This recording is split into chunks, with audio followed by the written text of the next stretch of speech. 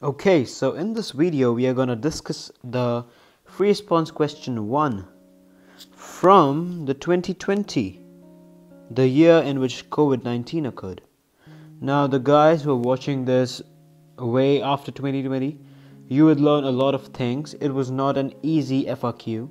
There were many tricky questions and we'll just go through them, all of them. So starting with part A. This is the free response question 1. So the free response question 1 part A asks us Identify the hybridization of the valence orbitals of the carbon atom indicated with arrow in the compound Y. So in compound Y as we can see here this has 4 sigma bonds. Now I would tell you there's a thing called steric number which is sigma bonds plus the lone pairs on the particular atom. Now the question asked us about carbon, so we can see it has 4 sigma bonds and no lone pairs because it has bonded with all of them. So the steric number is 4 here. Now what this steric number tells us is the hybridization. So if we look at sp3, it has 4 orbitals, 1s and 3p which correlates with 4 sigma bonds. And we can write here that the, the hybridization of this particular carbon here is sp3 moving on to part 2 it asked us the intermolecular forces that the two compounds have in common. Now this was a really tricky question. Now let me explain you why. So let me just erase this first. Oh I think I cannot erase it. No problem. No problem. Alrighty. So the intermolecular forces in compound W is hydrogen bonding. As this bond forms kind of hydrogen bond but when another similar kind of compound W will come by here they will form hydrogen bonding so we have hydrogen bonding here. And as you can see we have LDF LDF is a must for all these hydrocarbons and dipole dipole forces because we do not know if which side is pulled uh, which side is pulling this compound. I mean nitrogen is definitely a more electronegative uh, element. So I'll just write dipole dipole Now the trick comes here. Look at this compound Y. Compound Y has oxygen and hydrogen present, but they do not form hydrogen bonds.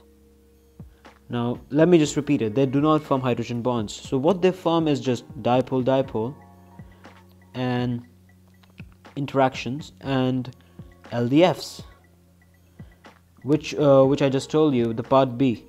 So the solution to part B is dipole-dipole and LDFs. Alright, moving to part C now. And part C was a bit of trick as well. L let me just show you what part C is asking us. It asked us what, uh, no, no, no, compound W has a greater boiling point than compound Y. The student claims that the difference is because compound Y exhibits stronger hydrogen bonding than compound W. Do you agree or disagree with this claim? Justify your answer in terms of all types of relative strengths of intermolecular forces present in each substance. Now, look at this thing. I disagree with the statement. The reason being, Y does not exhibit hydrogen bonding. It has zero H bonding. Remember I told you it has not got anything pertained to oxygen, nitrogen, fluorine, bonding with hydrogen. So the justification will be W has a greater boiling point due to presence of hydrogen bonding in W, which is just a reverse of the statement. And uh, it also asks us to tell the relative types of strength of intermolecular forces. Now the point is that hydrogen bonding, wait a minute, hydrogen bonding is always more stronger than dipole dipole. So even though Y is bigger and has more carbon, more electrons, the dipole is still weaker than hydrogen bonding here. So the compound W, we have just justified, it has a higher boiling point. Alrighty, so this was the kind of first subpart. Now the second subpart is asking us a different compound W oh sorry X is found to decompose over time. To study the reaction, a student monitors the molar concentration of the compound X in a solution at a constant temperature. After collecting and analyzing the data, the following linear graph was created by plotting 1 over x versus time. So let me move to the graph here. As you can see, the 1 over x forms a straight line with the time here. Now let's move on to the questions. Part D. The student proposes that the reaction is second order with respect to compound X. Do you agree or disagree? Justify your answer using the second, using the data in the graph above. Of course I agree with the statement. Because it is a second order reaction, we can use the equations given to us in the in the in the equation sheet and it says 1 upon x minus 1 upon x initial is just k times t where x is the concentration of compound x you can say. X is the concentration. Now we clearly see a linear equation linear function forming here with time and this this function here is definitely a second order reaction so it is a second order reaction. Okay. Now this part E asks us to write the rate law for the decomposition of compound X that is consistent with the graph above. Rate law for a second order reaction is K and X squared because it is a second order reaction. It's it's a squared with respect to power of X concentration of x. Now to determine the rate constant, okay, determine the value of rate constant for the reaction, include units with your answer. We'll go, we'll move back to the graph here. And the graph is tricking us in a way. Look, the units given to us are days. Now some of you might write seconds or maybe minutes there, but the actual thing was days. Now putting this into our equation, so 1 upon xt minus 1 upon xo is equal to kt and we are supposed to find the value of k. So at 25 at 20 seconds it's 25 by using this point. So we can write this as 25 and the initial it starts at 5 so subtracting 5 and as we see the k moves from 20 to 0 to 20 so it's k times 20. Now as you see, k is, what is k guys? Tell me. k is 25 minus 5 upon 20, which is 1. 1 and now we are supposed to find the units as well. So units can be found out by molar upon second is equal to k times concentration squared.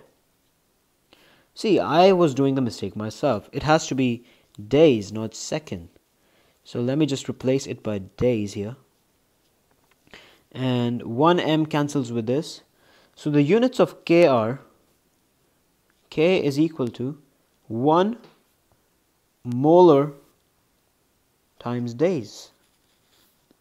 And days, I'll just put it in red because it can trick you anytime. Now the last tricky part was G, which I'm going to read.